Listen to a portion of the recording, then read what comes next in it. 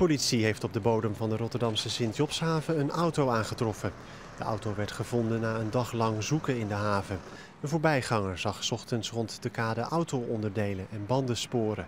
De politie is daarna met duikers in de haven gaan zoeken.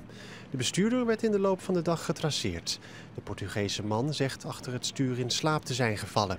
Hij reed daarop de haven in, maar wist zichzelf met behulp van een omwonende te redden. De man krijgt mogelijk een boete voor het verlaten van de plek van een ongeval.